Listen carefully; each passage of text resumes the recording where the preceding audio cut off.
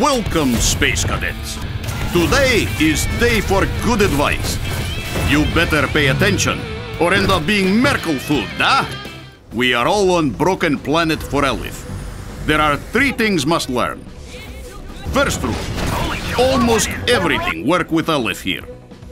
Many missions require you overload device with Aleph.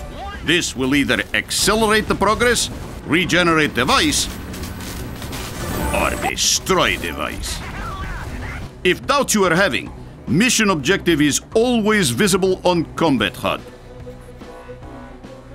Second rule, only get Aleph from elite soldiers beating shit out of enemy with bare hands.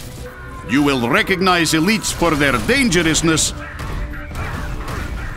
and very bright orange glow of inner Aleph. Only physical contact with victim will absorb Aleph.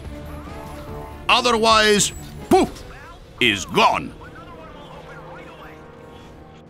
Third rule, Aleph has other use. Get five charges in row and enhance your chosen talents significantly. But beware, enemy will see you charged up and try to take Aleph by getting close and personal. And I don't mean kissy kissy.